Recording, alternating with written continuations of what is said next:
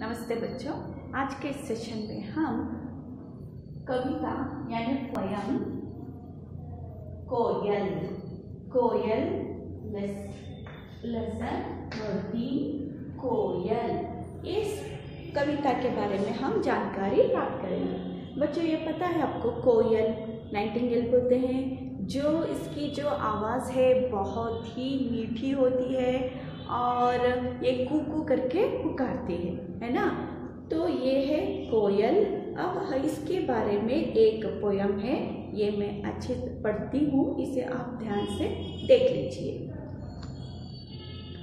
कोयल की फूक न्यारी, वह तो सबको प्यारी कभी कभी वह आती है, कुक से सबको भाती है।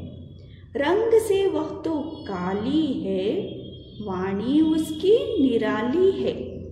वह तो फल ही खाती है, उड़कर फुर हो जाती है। फिर से एक बार पढ़ती हूँ देख लीजिए बच्चों। कोयल की कुक न्यारी। वह तो सबको प्यारी। कभी कभी वह आती है। कोक से सबको भाती है। रंग से वह तो काली है, वाणी उसकी निराली है। वह तो फल ही खाती है, उड़कर फुर हो जाती है। कोयल की कुक न्यारी, कोयल कोयल यानी नाइटिंगेल, उसकी जो कुक कुक का मतलब है, उसका जो वॉइस जो वो साउंड करती है कुकू करती है, वो है कुक वो बहुत ही ब्यूटीफुल है है ना? और वह तो सबको प्यारी, वो सबको पसंद आती है, बहुत ही अट्रैक्ट होती है, प्यारी यानी लवली बहुत ही खूबसूरत होती है, वो सबको अट्रैक्ट करती है। कभी कभी वह आती है, वो हमेशा नहीं रहती, जैसे ये क्रो रहता है क्रो यानी कौवा। कौवा हमेशा दिखाई देता है हर घर के ऊपर, हर पेड़ के ऊपर, हर गली आप कौवे को देख सकते हो। लेकिन ये कोयल हर जगह नहीं रहती। कहीं कहीं आप देख सकते हो। बहुत दूर दूर बहुत समय के बाद कहीं पर आप देख सकते हो, हर जगह नहीं रहती। कभी कभी वो आती है some sometime it will come Coke से सबको भाती है? यानी एक क्रो और कोयल, ये कौवा और कोयल देखने के लिए थोड़, बहुत सारे सिमिलैरिटी होते हैं। थोड़ा उसकी पूंछ और उसकी जो चोंच होती है, उसमें आँख में थोड़ा डिफरेंस होता है। लेकिन दूर से कौवा और क्रो को उतना जल्दी हम डिफ्रेंशिएट कर नहीं होता। यानी हम उसे आइडेंटिफाई करने नहीं होता। तो उसकी जो आवाज़ है, उससे पता चलता है कि ये कोयल है और ये कौवा है। कौवे के तो आवाज़ सबको पता है, काव काव करता है, लेकिन कोयल वो कू करके पुकारती है। जब वसंत ऋतु आता है, तब वो हर पेड़ के आम के पेड़, अच्छे से पेड़ के ऊपर बैठ के कू करके पुकारती है मधुर स्वर से। कुक से सबको भाती है। कोयल की कोई भी आवाज़ सुने आ, कितना अच्छा कोयल पुकार रही है। कौवा तो हमेशा कां कां करता है उसकी तरफ़ कोई भी ध्यान से नहीं देखता। लेकिन ये जो कोयल है जब वो कू करके पुकारती है तब सभी का सभी को अट्रैक्ट करती है। भाती भाती यानी अट्रैक्ट करना। रंग से वह तो काली है। देखने के लिए वो काली है जैसे क्रो काला है उसी तरह ये नाइटिंगेल यानी कोयल भी काली होती है। वाणी उसकी निराली है लेकिन जो इसकी वाणी है यानी वॉइस है वो बहुत ही मीठी स्वीट और ब्यूटीफुल है। वह तो फल ही खाती है। वो आ, क्या खाती है? इसका फ़ूड क्या है? फल यानी फ्रूट ये सिर्फ़ फ्रूट्स खाती है। उड़कर फुर हो जाती है। पेड़ के ऊपर बैठती है, फल खाती है, जैसे आम का फल हो या कोई मीठी फल होता है, उसके ऊपर बैठ के वो खाती है, वही उसका फ़ूड है। वो खा के फुर, यानी फुर करके वो उड़ जाती है। उड़ना, यानी फ्लाई वो उड़ जाती है, फुर करके वो उड़ जाती है। तो ये है कोयल। कोयल सभी, ये कोयल बहुत ही न्यारी है। न्यारी यानी ब्यूटीफुल है और न्यारी प्यारी। और ये सबको प्यारी है, यानी सबको बहुत पसंद आती है लवली है। प्यारी यानी लवली कभी कभी वो आती है, वो हमेशा नहीं आती, वो कभी कभार आती है और सबको अट्रैक्ट करती है, भाती है। रंग तो इसका क्या है? काला है और इसकी जो वाणी है, वो निराली है, काली निराली। ये सारा देखो राइमिंग वर्ड्स वाणी उसका जो वॉइस है वो बहुत ही ब्यूटीफुल है स्वीट है। वह तो फल ही खाती है। वो क्या खाती है?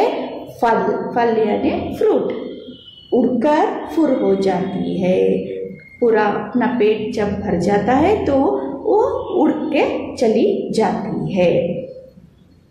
कोयल की कूक न्या, न्यारी वह तो सबको प्यारी कभी कभी वह आती है कुक से सबको भाती है, रंग से वह तो काली है, वाणी उसकी निराली है, वह तो फल ही खाती है, उड़कर फुरह जाती है।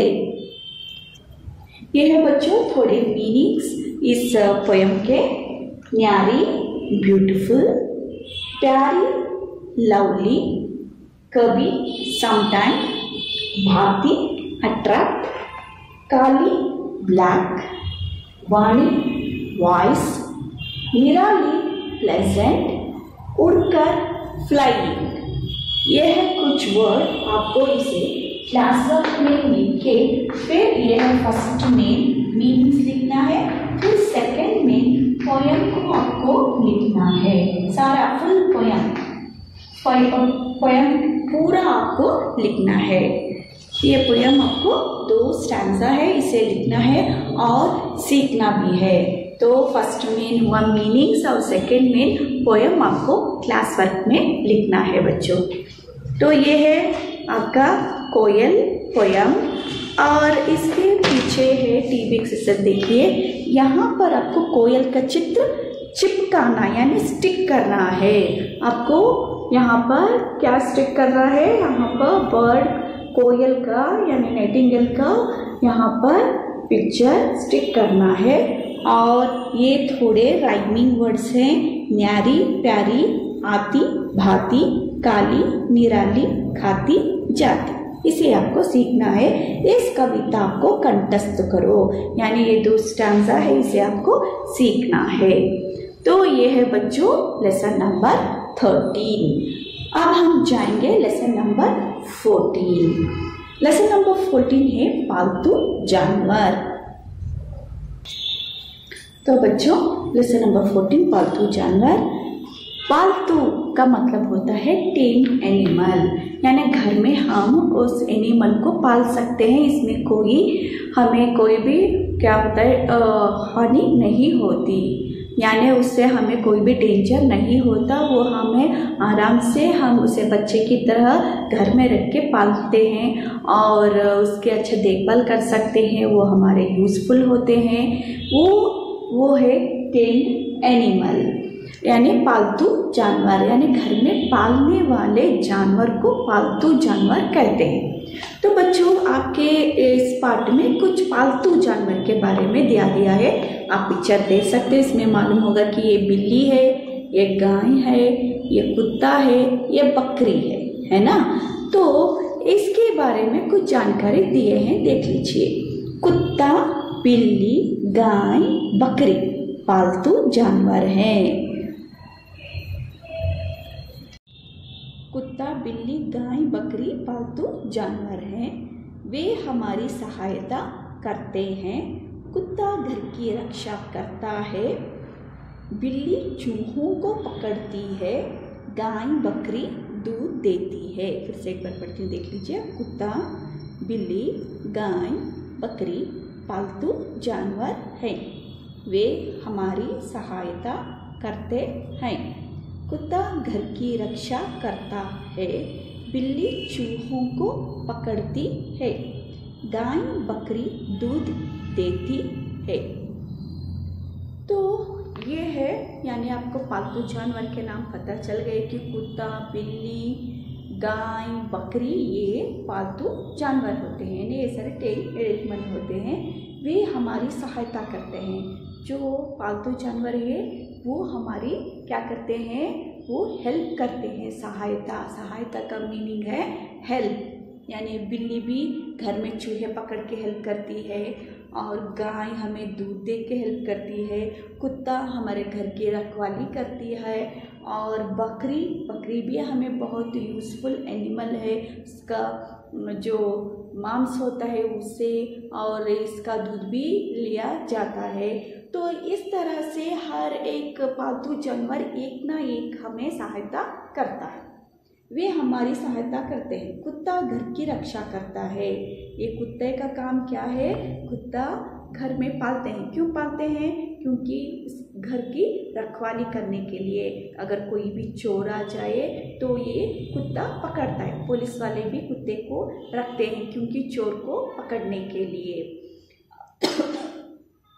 बिल्ली चूहों को पकड़ती है। बिल्ली बिल्ली को आपको पता है कि बिल्ली का काम चूहों को पकड़ना। घर में कोई भी रैट्स आता है तो ये बिल्ली के आवाज़, उसकी जो आवाज़ होती है मियाँ मियाँ उसे सुनते ही पूरे चूहे भाग जाते हैं। गाय, बकरी दूध देती है। ये जो गाय है और जो बकरी है, हमें इससे दूध मिलता है। ये बहुत ही अच्छा दूध होता है हमारे हेल्थ के लिए। तो ये है कुछ एनिमल्स के नाम और उसकी हेल्प की किस तरह से वो हमें सहायता करता है। बिल्ली चूहों में, चूहों को पकड़ती है, गाय दूध देती है, कुत्ता घर की रखवाली करता है और बकरी भी दूध देती है। ये है बच्चों, इस पाठ का पाठ। और अब हम जाएँगे page number thirty six page number thirty six देख लीजिए बच्चों, इससे पहले हम अब एक बार मीनिंग आप यहाँ पर लिखा गया है। देख लीजिए मीनिंग्स कुत्ता डॉग बिल्ली कैट गाय, कौ, बकरी, गोट, सहायता हेल्प रक्षा प्रोटेक्शन चूहो रैट्स पकड़ती कैच देती गिव्स ये है कुछ मीनिंग इसे आपको कहाँ पर लिखना है? क्लास वर्क में आपको इसे लिखना है। क्लास वर्क में ये मीनिंग लिखना है। फिर इस मैं जो क्वेश्चन आंसर में भेजूँगी उलो में भेजूँगी, उसे आप उसे लिख सकते हो। ये पहला मीनिंग मीनिंग लिखना है और दूसरा meaning question answer class work में लिखना है। अब हम जाएँगे टीबी एक्सरसाइज गाय पालतू जानवर है। गाय पालतू जानवर है? सही या गलत? सही तो इसे इसे मार्क कीजिए। मार्क करना है, कुत्ता घर की रक्षा नहीं करता। कुत्ते का काम घर की रक्षा करना है, यहाँ पर दिया गया है, नहीं करता तो उसे रॉन्ग डालिए। बिल्ली कुत्ते को पकड़ती है, बिल्ली कुत्ते को पकड़ती है या चूहे को पकड़ती है? हाँ चूहे को। तो ये कुत्ते को कहा है तो वो रॉन्ग है। गाय दूध नहीं देती। गाय का काम है दूध देना। ये गाय दूध नहीं देती, कहा है तो ये भी रॉन्ग है। तो राइट रॉन्ग रॉन्ग रॉन्ग अब हम जाएँगे फिल इन द ब्लैंक्स कुत्ता, बिल्ली, गाय, बकरी डैश जानवर हैं। इसे कुत्ता, बिल्ली, गाय, बकरी को कैसे जानवर कहते हैं? पालतू। आप लिखिए, पालतू जानवर हैं। पालतू जानवर हैं। बिल्ली डैश को पकड़ती है। बिल्ली किसे पकड़ती है? चूहों को। इसे पकड़ती है? चूहों को पकड़ती है। चूहा चूहा और चूहो। चूहा यानी एक सिंगल रैट होता है। चूहो यानी बहुत सारे रैट्स। कुत्ता डैश की रक्षा करता है। कुत्ता घर की रक्षा करता है। गाय बकरी डैश देती है। गाय और बकरी क्या देती है? दूध देती है। दूध देती है। इसे आप टेक्स्ट बुक में इस तरह से कॉपी कीजिए बच्चों। तो ये हुआ lesson number thirteen Koyal poem आपको सीखना है। और लेसन नंबर फोर्टीन ये पालतू जानवर। इसके बारे में आपको कोई भी डाउट हो तो आप नेक्स्ट सेशन में पूछ सकते हो। धन्यवाद।